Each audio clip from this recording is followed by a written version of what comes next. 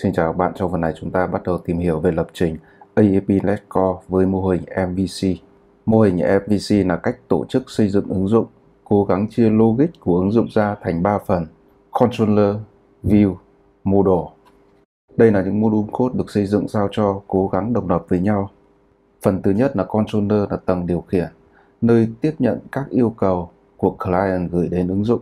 Khi nhận được các yêu cầu, các truy vấn gửi đến thì nó xử lý cái truy vấn đó nếu cần truy vấn để lấy dữ liệu thì nó sẽ liên lạc với cả cái thành phần gọi là model. Sau khi lấy được dữ liệu từ model, xử lý dữ liệu đó thì nó có thể tiếp tục liên lạc tới cái thành phần gọi là view.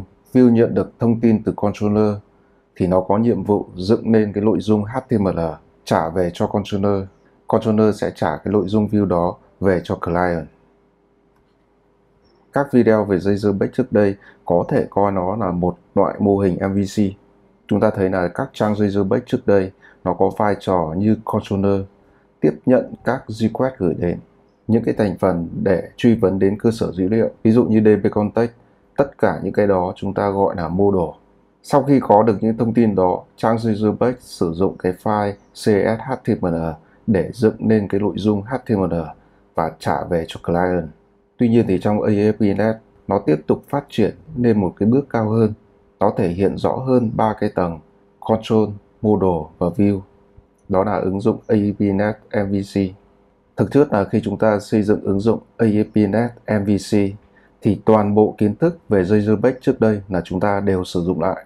Đặc biệt là thành phần View trong ứng dụng MVC nó cũng sử dụng chính Razor Engine để dựng HTML.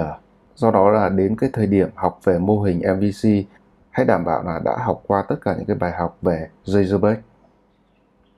Bây giờ chúng ta sẽ bắt đầu tạo một cái dự án ASP.NET theo mô hình MVC. Tạo ra một cái thư mục mkdir. Đặt tên thư mục, tên của dự án là app mvc.net.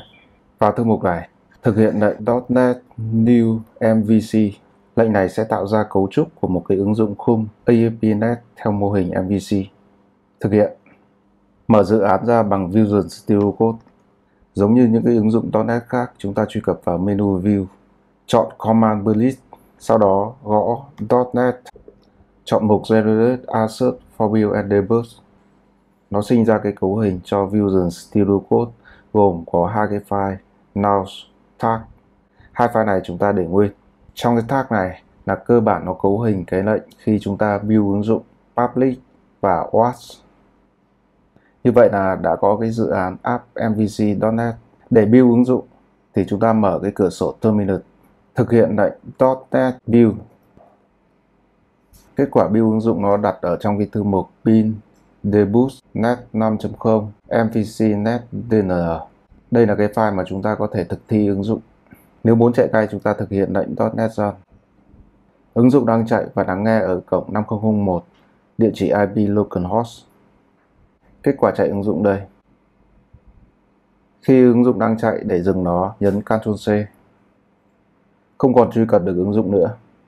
Ngoài ra trong quá trình biên tập code, nếu chúng ta muốn là mỗi khi chúng ta cập nhật code, lưu nó lại thì nó tự động biên dịch và chạy lại ứng dụng thì chúng ta thực hiện cái lệnh .NET What Run. Ứng dụng của chúng ta đang chạy. Nếu bây giờ chúng ta sửa code, ví dụ như vào View sửa cái file index.cs.html cái chữ welcome này, thay bằng xin chào. Ta lưu cái kết quả này lại, thì ứng dụng đang chạy, nó sẽ tự động biên dịch và chạy lại. Trên cửa sổ trình duyệt thì nó tự refresh. Chúng ta thử xem Ctrl S để lưu lại. Chúng ta thấy là nó biên dịch lại ngay. Sau khi chạy lại thì trình duyệt nó tự refresh lại. Có dòng chữ là xin chào. Giống như là .NET Run để dừng cái lệnh .NET What Run đang chạy, nhấn Ctrl C ứng dụng không còn truy cập được nữa. Cách tổ chức lưu trữ thư mục của MVC thì khá tương tự như The Razorback. Mặc định thì nó có những cái thư mục, thư mục controller. Trong cái thư mục này là chứa những cái lớp được gọi là các controller. Những cái lớp controller này sẽ nhận các truy vấn HTTP request gửi đến. Có thư mục là model, khai báo các model của ứng dụng, những cái cấu trúc dữ liệu của ứng dụng. Có thư mục là view, bên trong thư mục view chứa các file CSHTML.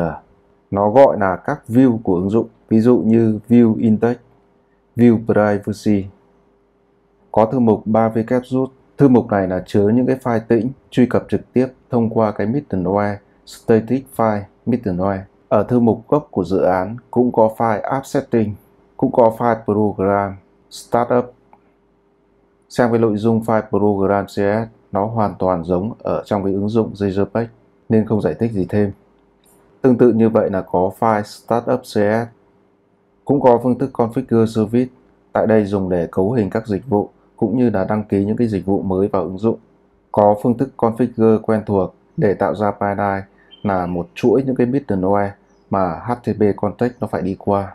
Đọc qua cái file này thì so với cả cái ứng dụng Razorback trước đây thì có những cái điểm khác đó là trong configure service có gọi edge controller with view trong binary thì nó vẫn sử dụng cái endpoint routing middleware use endpoint để tạo ra những cái điểm endpoint ánh xạ URL tới những cái thành phần của ứng dụng. Thì ở đây nó bắt đầu sử dụng là tạo ra các endpoint đến các controller.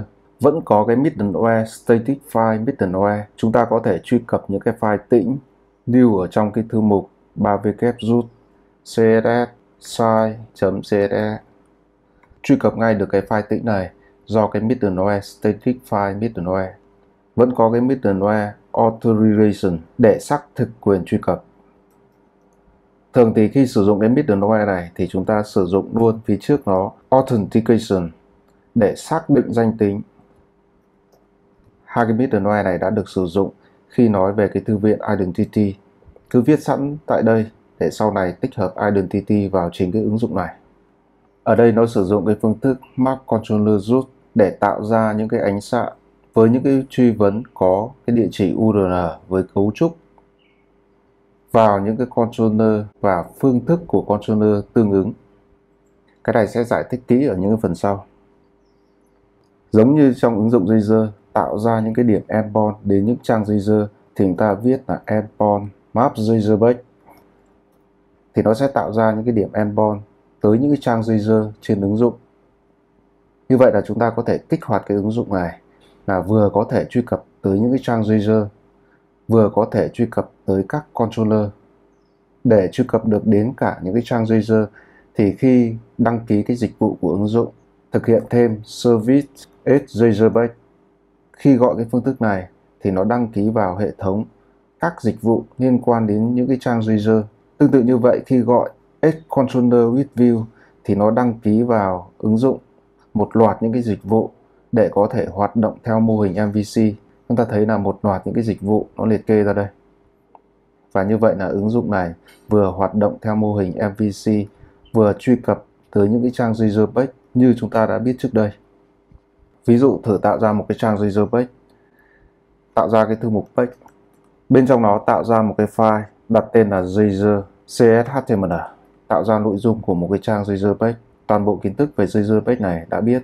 Sử dụng cái chỉ thị page tạo ra cái địa chỉ truy cập about Razor HTML có một cái thẻ H1 giới thiệu về Razor có một paragraph.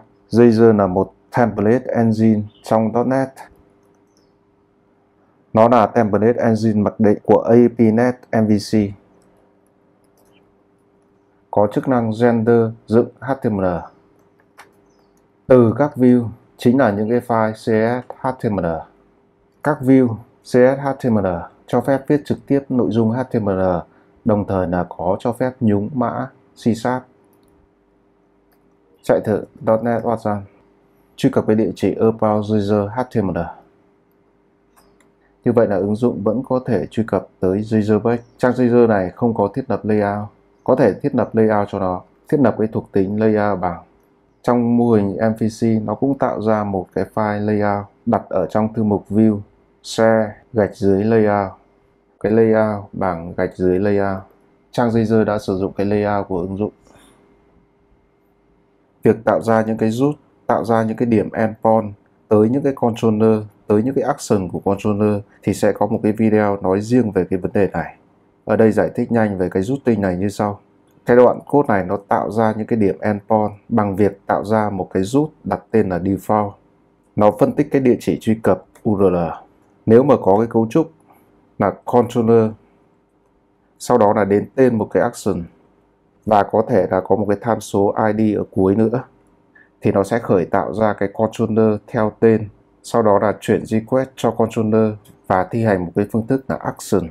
Như vậy nếu mà truy cập với cái địa chỉ là abc xyz thì hệ thống nó sẽ phân tích, tìm cái controller có tên là abc và khởi tạo nó.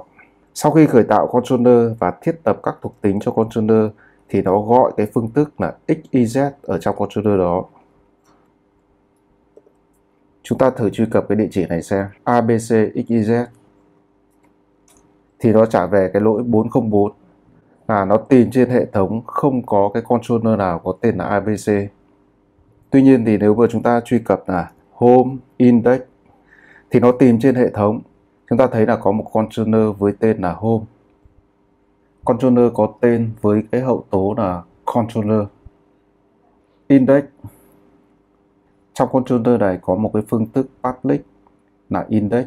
Do vậy mà khi truy cập home index thì nó sẽ khởi tạo controller home và thi hành cái phương thức index. Chúng ta truy cập thử xem home index ta thấy là truy cập được ngay. Thử truy cập cái địa chỉ home hai home trả về lỗi 404 bởi vì hệ thống nó phân tích là mặc dù có controller là home nhưng không có một cái phương thức gọi là cái action, tên là hai home nếu muốn truy cập được cái địa chỉ này thì phải có cái phương thức là hai home được gọi là cái action. Thử khai báo vào một cái phương thức public, trả về string hai hôm. Phương thức này nó trả về một chuỗi. Xin chào các bạn. Tôi là hai hôm. Thì lúc này truy cập cái địa chỉ home hai hôm. Ta thấy là có nội dung trả về. Xin chào các bạn. Tôi là hai hôm. Cũng để ý là cái routing default nó có thiết lập là trên cái địa chỉ URL nếu mà không có action thì mặc định action đấy là index. Nếu mà không thiết lập controller thì mặc định controller sẽ là home. Như vậy nếu mà chúng ta truy cập cái địa chỉ là home, không chỉ ra cái action, thì mặc định nó thi hành cái action là index. Chúng ta thấy phương thức index được gọi. Thậm chí là không chỉ ra cái controller thì mặc định nó sẽ gọi controller và index là action. Vẫn ra cái trang xin chào. Tạm thời hiểu cơ bản về cái đoạn code này là như vậy. Bây giờ sẽ nói về các controller bây giờ hãy truy cập cái địa chỉ là first index. Khi truy cập cái địa chỉ này, trả về cái lỗi 404 bởi vì không có controller với tên là first, sẽ tạo ra một controller đặt tên là first. Trong thư mục controller tạo ra một cái file là first controller. Các controller có tên với hậu tố là controller, first controller cs trong này tạo ra một cái lớp đặt tên là first controller, khai báo nó trong cái namespace, app controller. Để thống nhất namespace app mvc sẽ đổi thành app. Tìm kiếm tất cả app.net đổi thành app.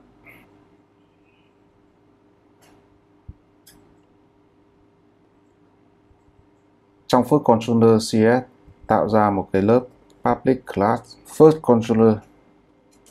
Để lớp này được coi là một controller thì nó phải kế thừa controller. Lớp controller được định nghĩa ở trong namespace.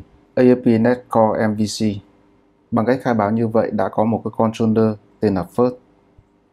Tạo ra một cái phương thức public trả về một cái chuỗi. Phương thức này đặt tên là index. Trả về một cái chuỗi. Có nội dung tôi là index của first. Truy cập url first. Nó tìm thấy có controller tên là first. Do đó nó sẽ khởi tạo được cái controller đó. Bên trong cái controller này có một cái phương thức là index. Do vậy mà có thể truy cập được cái địa chỉ này. Thử xem first index. Có kết quả tôi là index của first. Ta ghi chú lại, tạo ra một cái file zipme md sử dụng markdown. Thứ nhất là về controller. Controller là một lớp kế thừa từ lớp controller của thư viện AUV Netcore. Sau khi khởi tạo controller từ thư viện AUB Net sẽ thiết lập các thuộc tính của controller, chứa trong nó tất cả những cái thông tin của request gửi đến ở trong controller có đầy đủ những cái thông tin của request gửi đến. Có thể lấy được thông qua những cái properties. Như lấy được cái đối tượng HTTP context, đọc được HTTP request, đọc được HTTP response, có root data. Ngoài ra những cái thuộc tính cái property tương tự như khi chúng ta sử dụng Big Model, ví dụ như user, model state, view data, view batch, URL helper time data. Những properties này có ở trong controller giống như ở trong Back Model và cách sử dụng là tương tự. Ngoài ra khi khởi tạo controller có thể inject vào controller những cái dịch vụ cũng inject thông qua phương thức khởi tạo. Ví dụ chúng ta sẽ inject inogger khai báo cái phương thức khởi tạo. Inject dịch vụ logger, inlogger, dịch vụ logger cho cái đối tượng, cho cái lớp first controller. Khai báo một cái trường private seed only, inlogger cho first controller đặt tên là gạch dưới logger. Sau khi inject thì lưu trữ nó lại.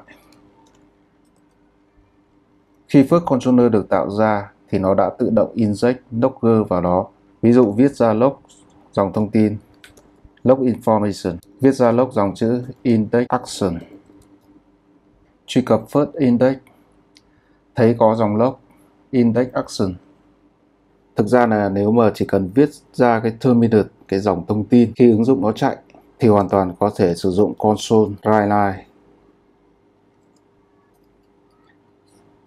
Khi truy cập thì ở trên terminal cũng thấy cái dòng index action tương tự như sử dụng log. Tuy nhiên thì chúng ta nên tạo ra cái thói quen sử dụng log thay vì là viết console drive. Ở đây sẽ nói thêm một chút về Logger. Trong các dịch vụ của ứng dụng ASP.NET mặc định có một cái dịch vụ là Logger nó đã được đăng ký vào DI của ứng dụng, được đăng ký với hình thức là extension. Có một cái dịch vụ tên là Tire Inlogger. Đối tượng triển khai của nó đấy là Tire Logger.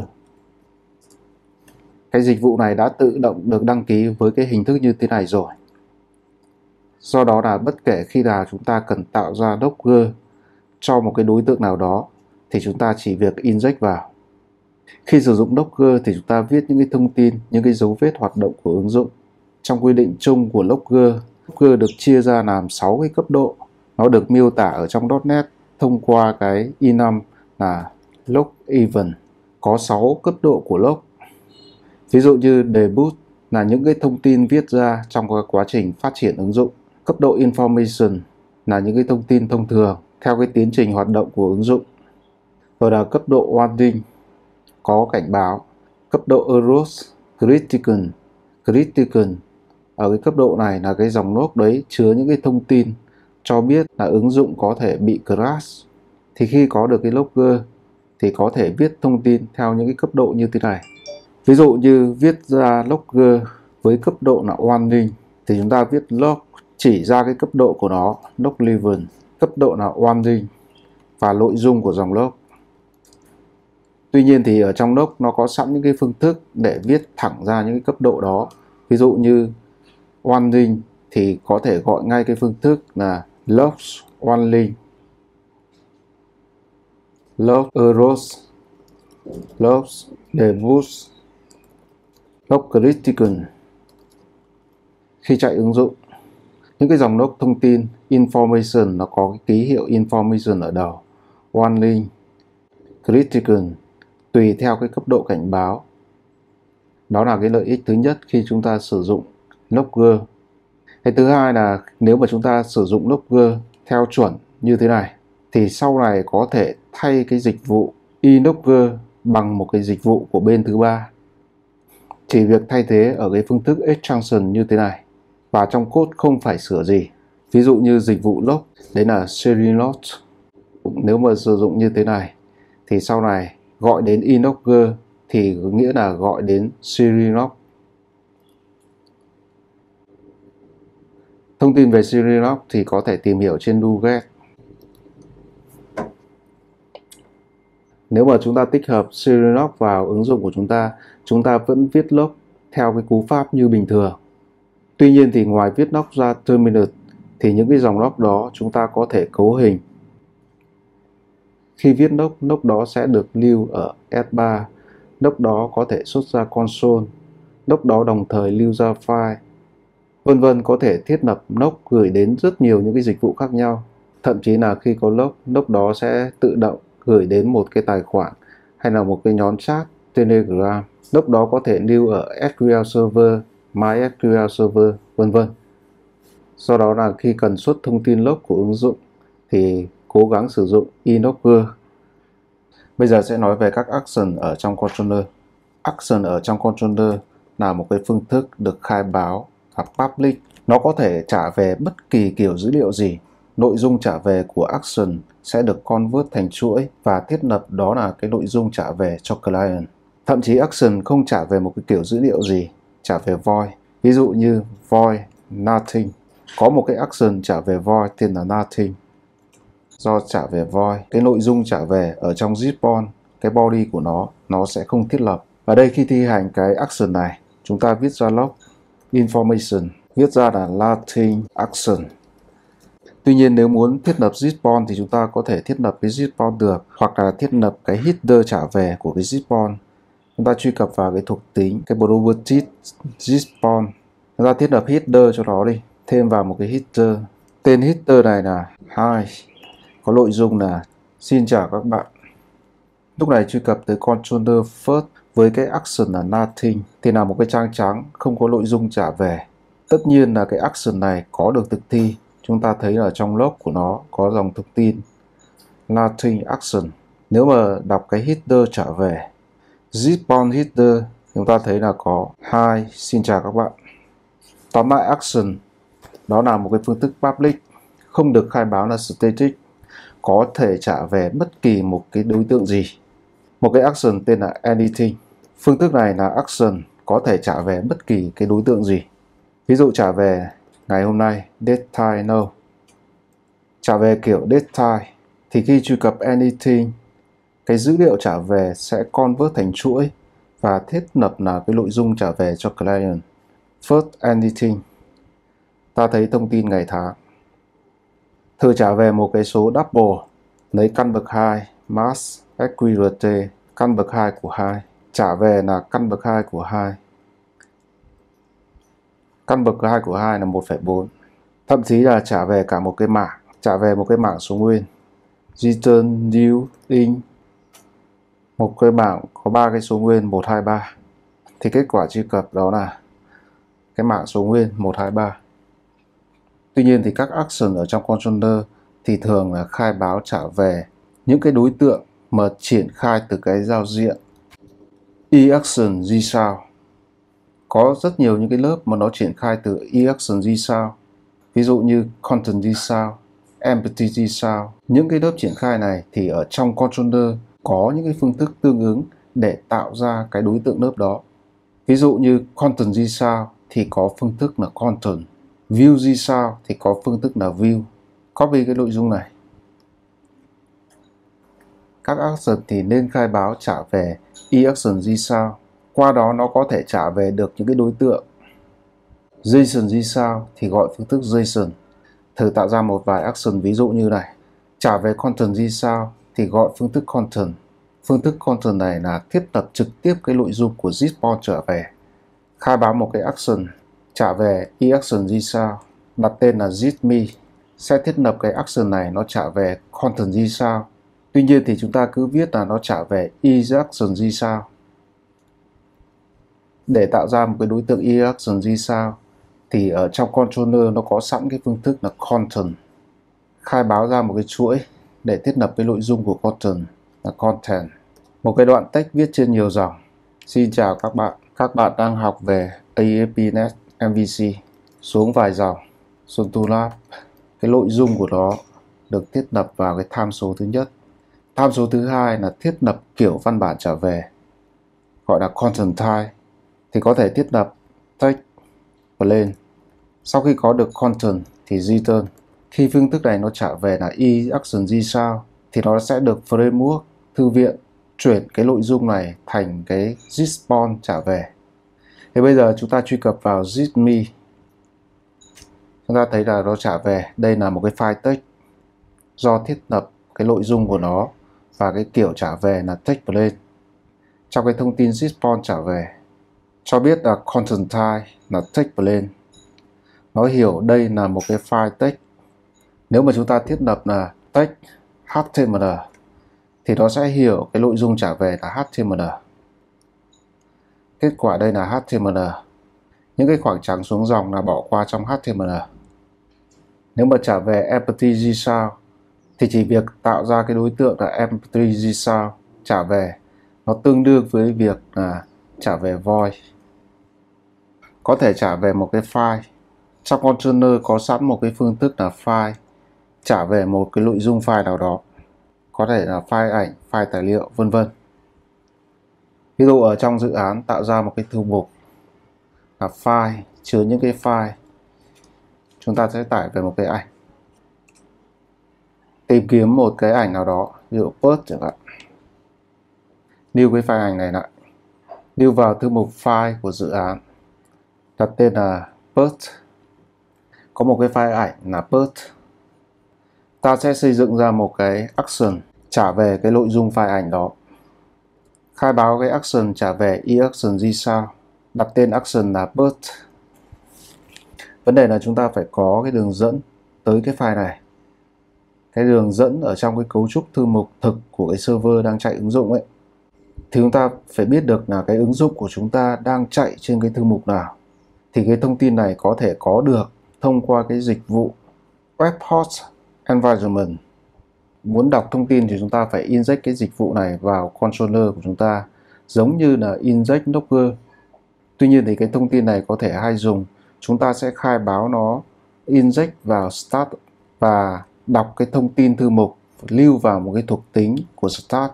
Khai báo có một cái property public static string content, root path. Chúng ta khai báo nó có một cái property như vậy khi startup này khởi tạo thì nó inject cái web host environment vào. Sau khi nó inject vào, chúng ta sẽ thiết lập cái content root path bằng content root path từ những cái lớp khác, chúng ta có thể truy cập startup, truy cập vào content root path để có được là cái đường dẫn đến cái thư mục MVC net. Như vậy, cái file mà chúng ta cần đọc, cái file ảnh chúng ta cần đọc, tên biến là file path, sẽ bằng path compile lớp path này phải làm cái namespace system, lối, startup, content, root path. Đấy là cái đường dẫn đến cái thư mục ứng dụng. Trong thư mục ứng dụng có cái thư mục file. Trong thư mục file có một cái file là put jpg có được cái file rồi thì chúng ta đọc toàn bộ cái nội dung file đó vào một cái mảng byte có thể sử dụng ngay cái phương thức this on byte file path. Đây là một cái mảng byte đọc được từ cái file bus.jpg toàn bộ cái mạng byte đó được dùng để tạo ra file JSON trong controller có sẵn một cái phương thức là file.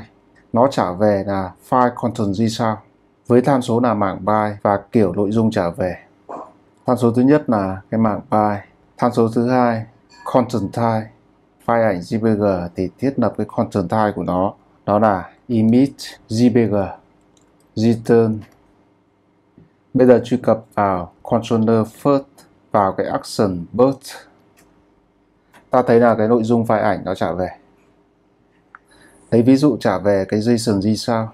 Tạo ra một cái action đặt tên là iPhone price trả về giá của iPhone. Nếu muốn trả về JSON thì chỉ việc tạo ra cái đối tượng JSON gì sao? Bằng cách gọi JSON.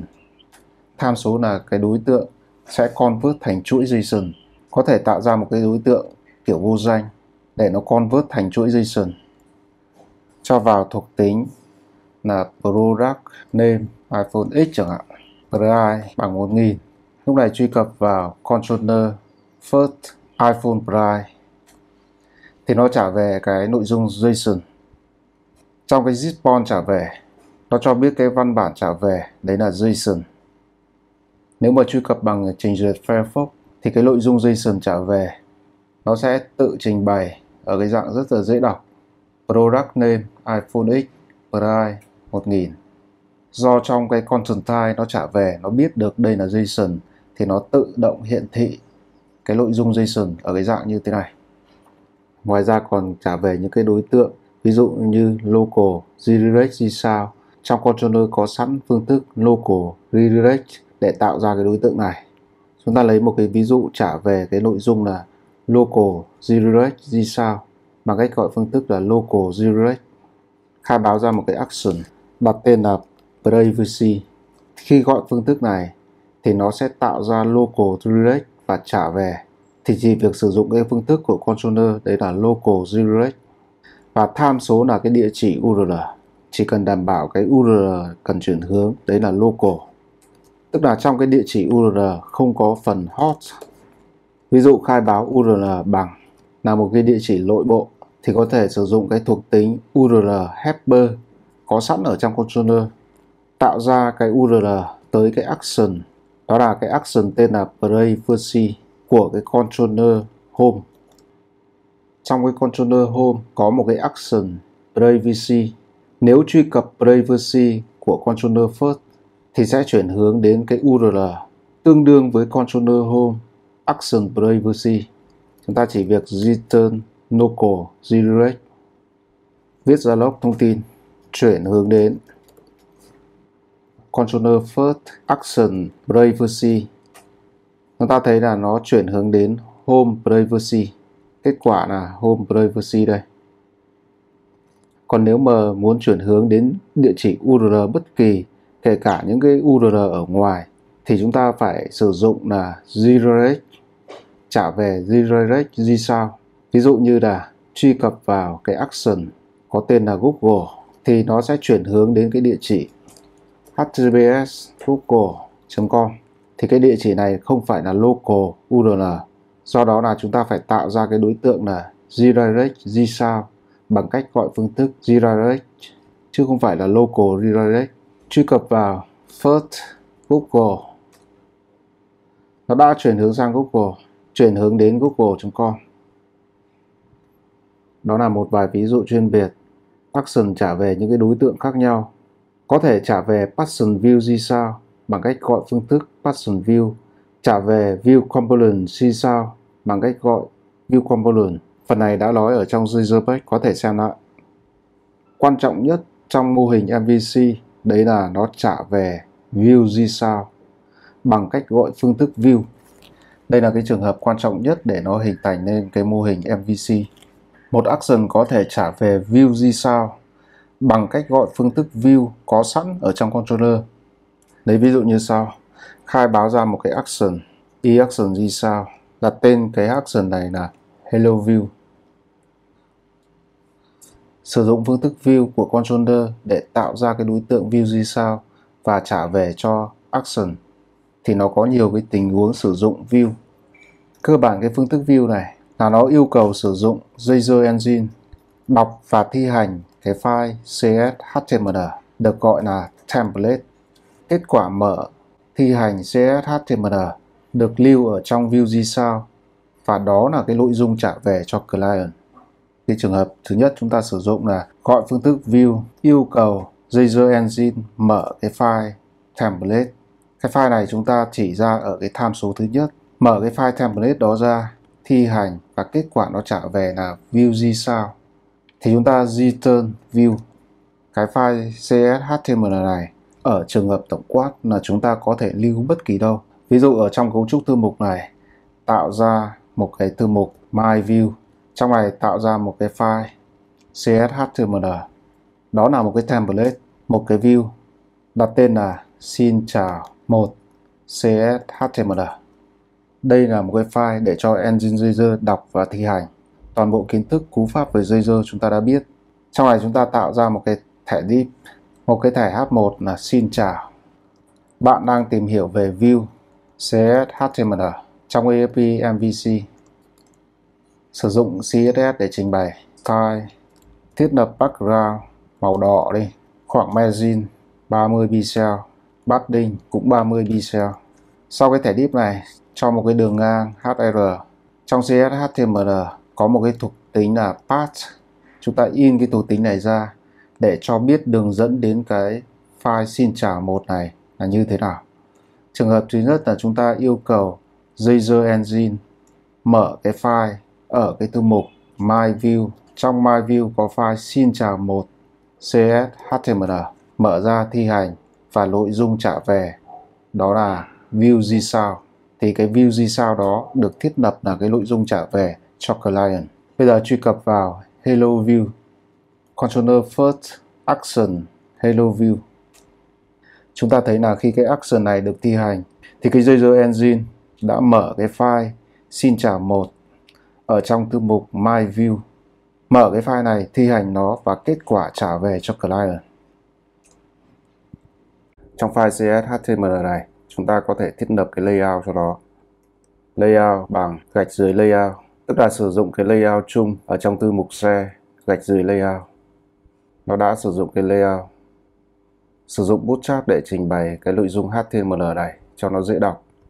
Sử dụng cat background primary màu chữ text white h1 này, cho cái class cat header paragraph này, để trong cái thẻ div có cái class là body cat body cat text kết quả HTML trong action Hello View, có thể cho vào các tham số những cái tham số này giống như trong handler của Razorback sẽ được tự động binding từ các nguồn gửi đến. Ví dụ khai báo vào có một cái tham số là chuỗi username.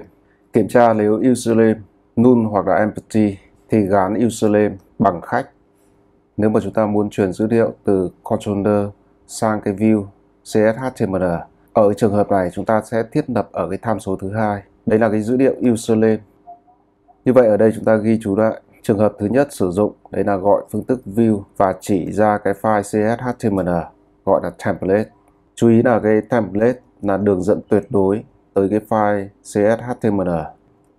Trường hợp thứ hai là muốn truyền dữ liệu từ control sang view thì chúng ta thiết lập cái dữ liệu đấy ở cái tham số thứ hai của phương thức view. Tham số thứ hai chúng ta gọi là model. Cái trường hợp này nó thiết lập là truyền cái model đó là username sang view xin chào một nếu vậy ở trong view xin chào một, như chúng ta đã biết ở cái phần dây sử dụng cái chỉ thị là model để thiết lập kiểu dữ liệu nó truyền tới model và nó gán vào cái thuộc tính là model. Kiểu dữ liệu truyền đến view đó là chuỗi string. Như vậy thì lúc này ở trong view CSHTML cái thuộc tính là model sẽ có kiểu là chuỗi và giá trị là do controller truyền tới. Model truyền tới từ controller là một cái chuỗi. Ở đây có thể xuất ra cái chuỗi đấy. Xin chào model. Kết quả là xin chào khách. Cái tham số username này là bằng luôn, không có cái dữ liệu binding đến, do đó nó thiết lập là bằng khách. Dữ liệu binding đến có thể thiết lập ở trên query, trên form, vân vân. Ví dụ ở trên query thiết lập cái key là username bằng Xuân Trên view chúng ta thấy là xin chào Xuân Trường hợp tiếp theo là như thế này, sử dụng phương thức view để tạo ra view gì sao. Tuy nhiên trong cái tham số template chúng ta không ghi đường dẫn tuyệt đối tới cái file CSHTML mà chỉ ghi tên template. Ví dụ như là xin chào hai. Với cái trường hợp như thế này, thì JJ Engine sẽ tìm cái file CSHTML đấy là xin chào hai. Tìm nó ở trong cái thư mục view. Sau đó là thư mục con, là tên của controller. Controller này là first controller. Sau đó nó sẽ tìm ở cái thư mục first và mở cái file là xin chào hai cshtml theo cái đường dẫn như thế này. Lúc này truy cập, thì nó cho biết là không có cái file xin chào hai cshtml do đó là lỗi. Nó đã tìm cái file, xin chào hai, ở cái đường dẫn, view, first, xin chào hai, và không thấy. Như vậy thì chúng ta cần tạo cái file xin chào hai ở trong cái thư mục view trong thư mục view phải có một cái thư mục theo tên của controller là first. Trong first này thì cần tạo ra cái file cshtml xin chào hai. Có thể copy, xin chào một sang. Sửa thành xin chào hai. Xin chào hai cho background là Danger. Lúc này truy cập lại, chúng ta thấy là nó đã sử dụng cái xin chào hai ở trong thư mục view first. Nó tìm file template ở trong thư mục view, thư mục theo tên của controller và tên của template. Cái trường hợp thứ ba là như thế này. Chúng ta gọi phương thức view để tạo ra cái đối tượng view gì sao. Đối với cả cái trường hợp này thì nó yêu cầu Jazz Engine sẽ mở một cái file template CSHTML trùng tên với cả action, tức là hello view CSHTML và tìm nó ở trong cái thư mục. Giống như trường hợp trên, Cụ thể là cái trường hợp này, nó sẽ tìm cái file hello view ở trong cái thư mục. View first, hello view cshtml là không có cái file hello view cshtml ở trong cái thư mục first. Như vậy trong phương thức view không chỉ ra cái template thì nó sẽ tự động thiết lập cái file template theo cái đường dẫn. Để render được cái view trong trường hợp này, chúng ta phải tạo ra cái file hello view trong thư mục first, có thể là copy cái xin chào hai. Tên của nó theo tên action hello view. Thiết lập background là one link. Lúc này truy cập lại. Nó đã sử dụng cái template đây là hello view ở trong thư mục theo tên controller first. Nếu mà muốn truyền dữ liệu model cho hello view ở cái trường hợp này, thì chúng ta thiết lập ngay ở cái tham số thứ nhất username. Tuy nhiên nếu viết như thế này, thì username đấy là một chuỗi ký tự, thì nó sẽ hiểu username là template, chứ không phải là model cần truyền sang hello view. Ở trong trường hợp này thì chúng ta sẽ cast nó sang là object, để cho nó biết là đây là model chứ không phải là template. Có xin chào Xuân Tuấn Áp, mua đồ đã được truyền sang view. Cấu hình mặc định của Jazz Engine trong ASP.NET thì nó thiết lập tìm các file template dưới cái thư mục view, sau đó là tên controller, sau đó là tên action, CSHTML. Nếu muốn thì chúng ta có thể cho thêm vào. Sau khi nó tìm theo cái đường dẫn mặc định như này không thấy thì nó tìm tiếp trên cái cấu trúc thư mục mà chúng ta cho thêm vào. Tại phương thức configure service sẽ thiết lập cấu hình cho Jazz Engine bằng cách gọi service configure. Đối tượng thiết lập cấu hình đấy là Jazz View Engine Option. Tham số là một cái delegate option. Option này là Jazz Engine View Option được sử dụng bởi Jazz Engine. Thông qua option này chúng ta có các thiết lập. Mặc định thì nó đang có một cái thiết lập. Đấy là tìm những cái file template ở trong thư mục View dưới thư mục Controller. Các file template có dạng là action, CSS html. Bây giờ chúng ta muốn là ngoài tìm theo cái cấu trúc thư mục như thế này, CSS html. Nếu mà tìm trên cái thư mục này không thấy thì tiếp tục tìm ở trong My View cũng theo cấu trúc là controller đến tên action CSHTML. Thường này chúng ta sử dụng option truy cập vào cái thuộc tính view location format gọi phương thức edge thêm vào một cái cấu trúc thư mục tham số của nó là cái cấu trúc thư mục mà nó sẽ tìm cái file template CSHTML. Trong cái chuỗi tham số này, nó đã để sẵn, nếu mà có cái chỉ số là không, thì tương đương với cả tên của action. Chỉ số 1 đấy là tên của controller. Chỉ số 2 nếu có là tên Azure. Như vậy là chúng ta muốn là nó tìm trong thư mục view, thì chúng ta viết là nó tìm trong thư mục view. Cái thư mục con theo tên của controller thì chúng ta viết là mở ngoặc nhọn một, tìm theo tên action thì chúng ta viết chỉ số 0.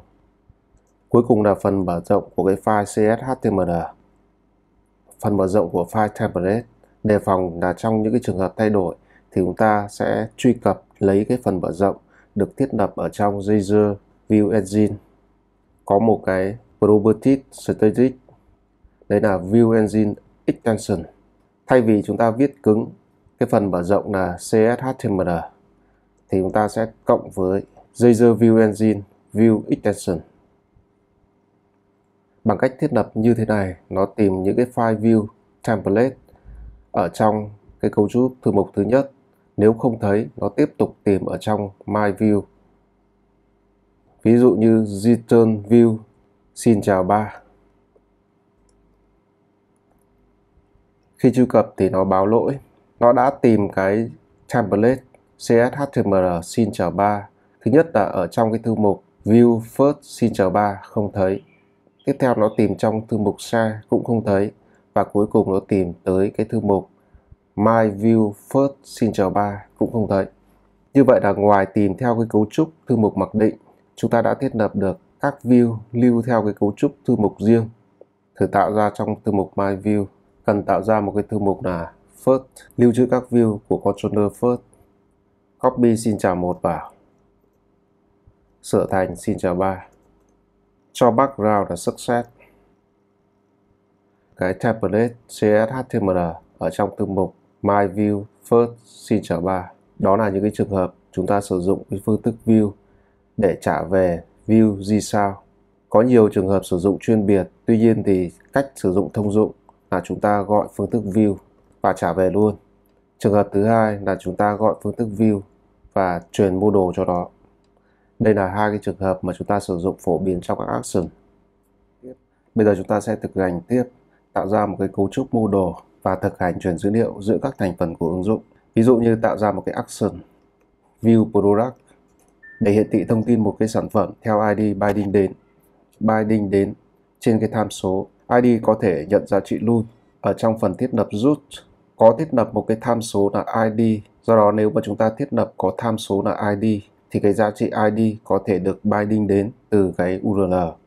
Tạm thời ở đây là chúng ta return content sản phẩm ID bằng ID. Controller là first action là view product, xem sản phẩm có ID bằng 1 xem sản phẩm có ID bằng 2 Bây giờ chúng ta sẽ xây dựng cái mô đồ biểu diễn một cái sản phẩm, cũng như là xây dựng một cái dịch vụ và đăng ký cái dịch vụ để tra cứu sản phẩm. Trong thư mục Moodle, tạo ra một cái Moodle đặt tên là Product Moodle. Khai báo trong cái namespace App Moodle. Cái lớp biểu diễn một cái Moodle là thông tin về một cái sản phẩm đặt tên là Product Moodle.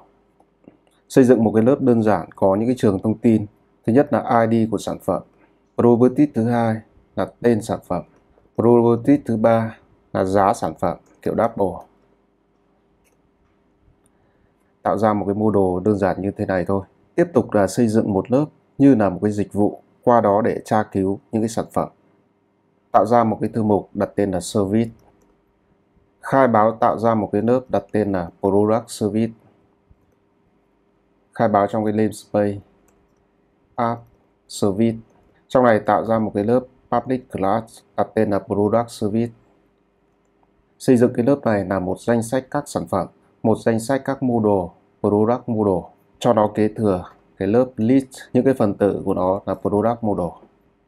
Làm cái namespace, định nghĩa của list, collection, generic, xây dựng cho nó một cái phương thức khởi tạo. Khi khởi tạo ra cái dịch vụ này thì chúng ta thiết lập là nó tạo ra trong danh sách một vài những cái sản phẩm mẫu. Phương thức của list đây là add hoặc là add rank thêm một mảng những cái product model một mảng product model cho vào cái sản phẩm thứ nhất new product model khởi tạo ID tên của sản phẩm, ví dụ như iPhone X, giá của sản phẩm 1000 cho vào 3 4 sản phẩm gì đó 4 sản phẩm.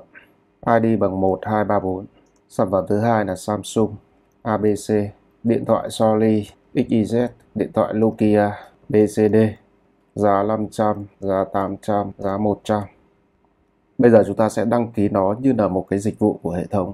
Những cái kỹ thuật này đã biết từ những cái video trước, nhất là ở trong cái video về dependency inject. Tại configure service đăng ký thêm vào một cái dịch vụ. Có thể đăng ký là singleton hoặc là chanson hoặc là scope. Nếu mà đăng ký là singleton thì nó chỉ tạo ra một cái đối tượng dịch vụ. Còn nếu mà đăng ký là chanson thì mỗi lần truy vấn để lấy ra dịch vụ thì là một đối tượng mới được tạo ra. Còn nếu mà đăng ký là scope thì mỗi phiên truy cập nếu mà lấy cái dịch vụ này ra thì là một đối tượng mới được tạo ra. Ở đây chúng ta sẽ đăng ký là singleton. Add singleton, mở ngoặc nhọn, tạo ra một cái dịch vụ có tên là product service. Khi lấy cái dịch vụ này ra thì tạo ra cái đối tượng product service. Cũng có thể viết cách thứ hai đó là tạo ra một cái dịch vụ có tên là product service.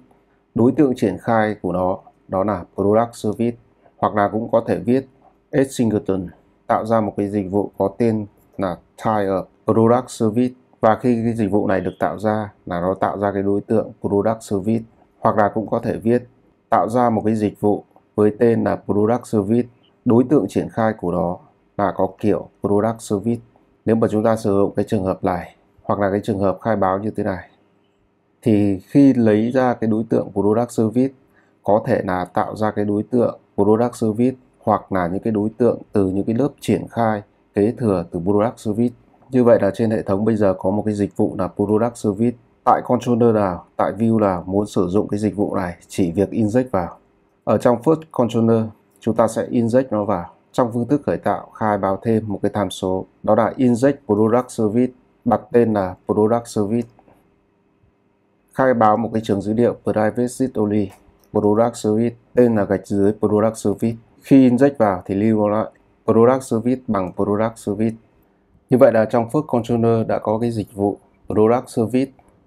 Bây giờ có thể sử dụng nó để truy vấn lấy dữ liệu.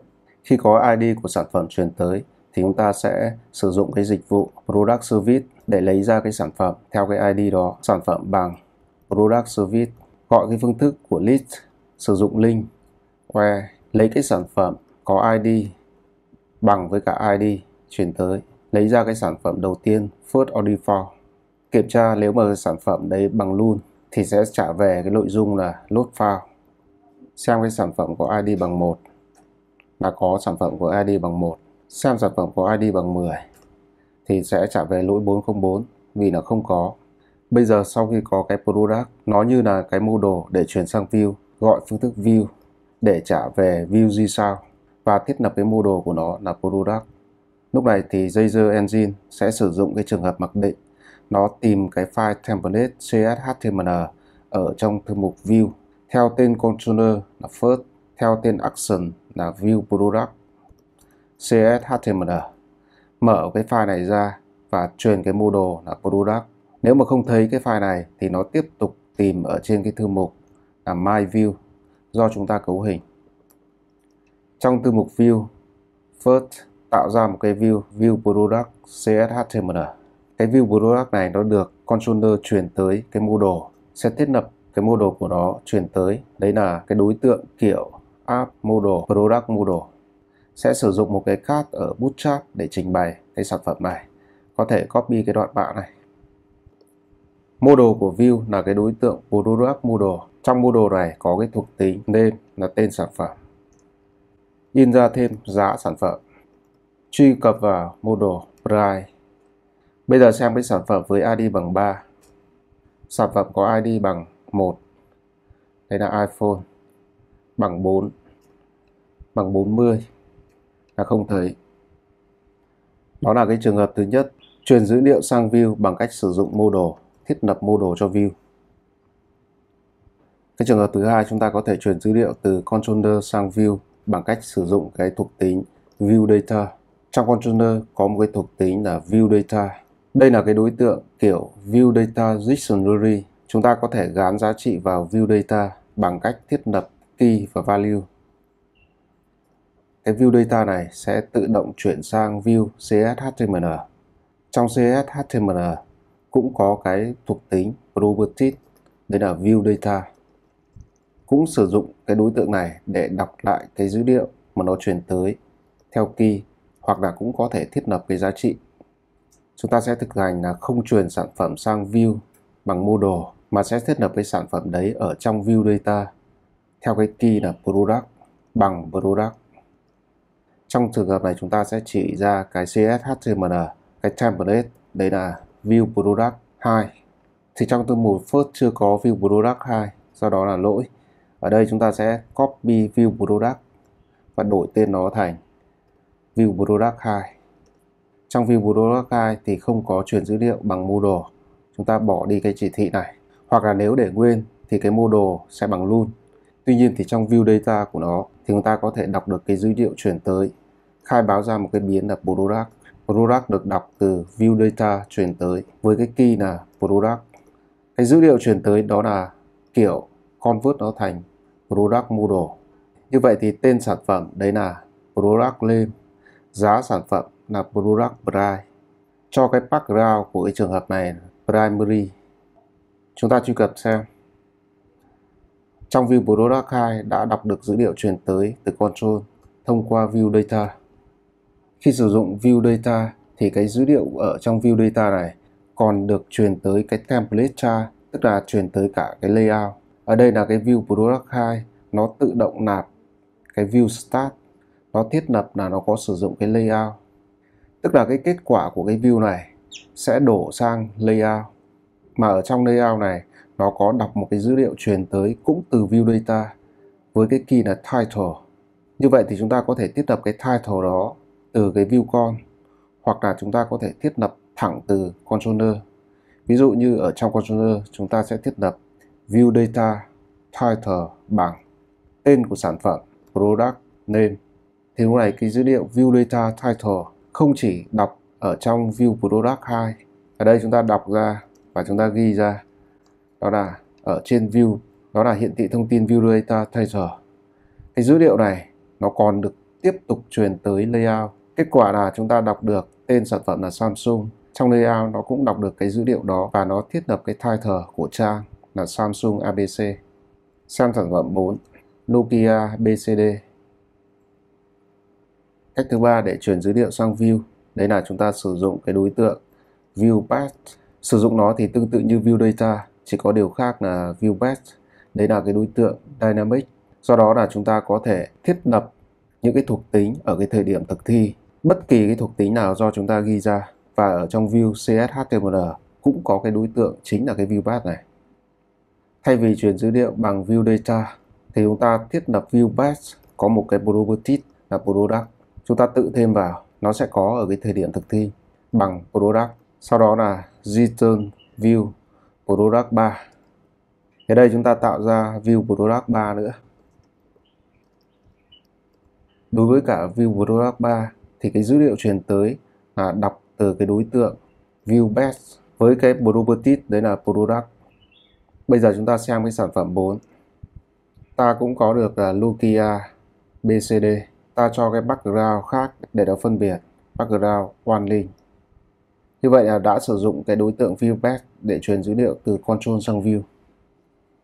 Trường hợp cuối cùng chúng ta đề cập ở đây là như thế này. Chúng ta muốn truyền dữ liệu từ trang này sang trang khác. Ví dụ truy cập cái địa chỉ URL là trang sản phẩm, thì bây giờ phải truyền dữ liệu về một cái trang khác, ví dụ như trang home.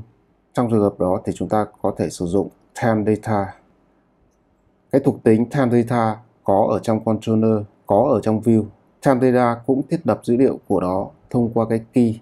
Ví dụ như time data thông báo thì cái key của nó là thông báo và thiết lập cái giá trị nào đó. Thì đối với cả cái dữ liệu time data này thì nó sẽ sử dụng session của hệ thống để lưu dữ liệu và trang khác có thể đọc được cái dữ liệu này. Nếu mà đọc ở trang khác khi đọc ra lần đầu tiên thì cái dữ liệu đấy được xóa luôn khi không tìm thấy sản phẩm thì sẽ chuyển hướng từ cái trang View Product về trang Home. Thay vì Return Not Found thì chúng ta sử dụng Return Redirect chuyển hướng về cái URL. Đấy là cái Action Index của Controller Home. Trước khi chuyển hướng thì nó có thiết lập Time Data thông báo bằng sản phẩm bạn yêu cầu không có. Lúc này chúng ta truy cập một cái sản phẩm không có, ví dụ sản phẩm bằng 10 thì nó sẽ chuyển hướng về cái trang trụ. Ở cái trường hợp này nó chuyển hướng về trang index. Chúng ta sẽ đọc lại cái thông tin này ở trong trang index. Đây là trong home index.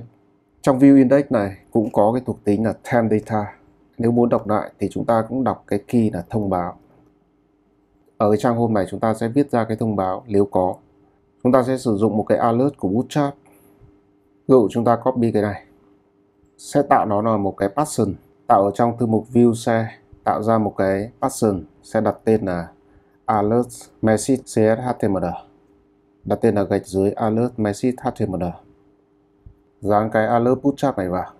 Trong cái alert bootstrap này, chúng ta xuất ra cái dòng thông báo. Đấy là đọc nội dung từ template data với cái key là thông báo. Chúng ta sẽ đổi nó là status message. Trong first controller, khi thiết lập là thiết lập theo cái key status message cũng kiểm tra là chỉ xuất hiện cái nội dung thông báo này khi cái status message ở trong time data là khác luôn, khác rỗng, tạo ra cái chỉ thị if string not empty null. Ở đây chúng ta sẽ đọc template data message vào một cái biến, khai báo một cái biến là message bằng template data status message add string. Kiểm tra message khác luôn.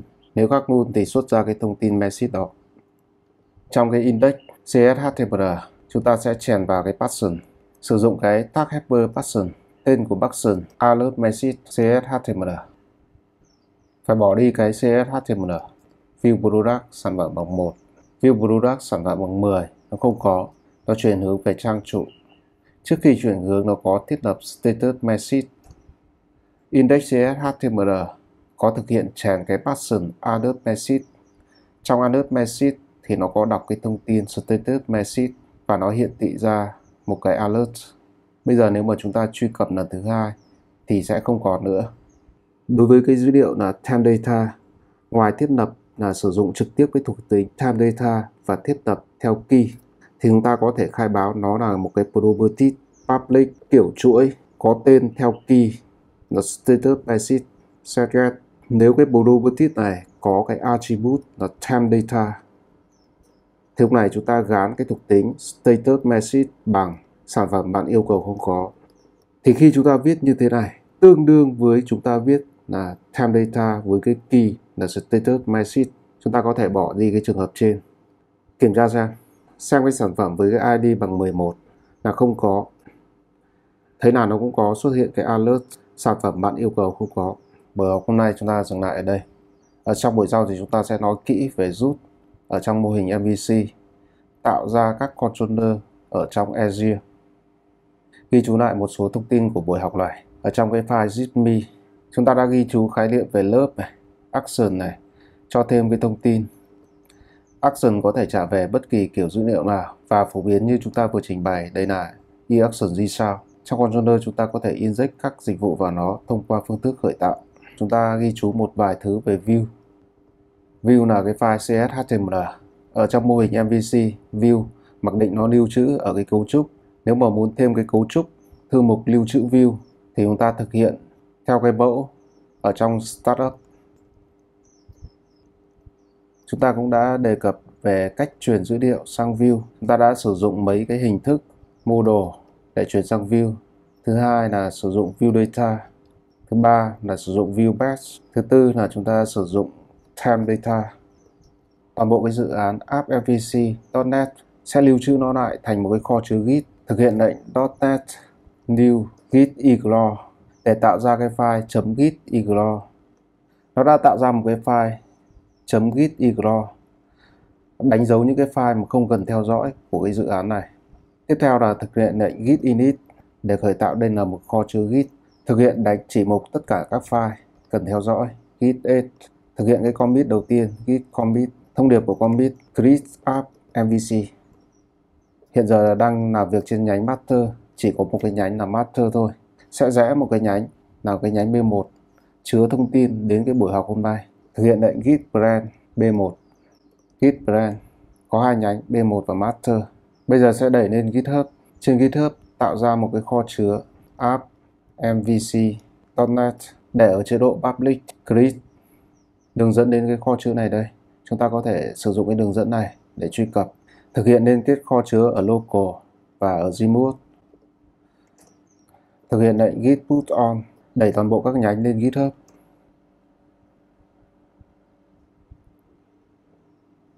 Cái dự án app mvc.net đã có ở trên git. Buổi sau sẽ clone cái dự án này về và tiếp tục các bài học sau ở trên nó.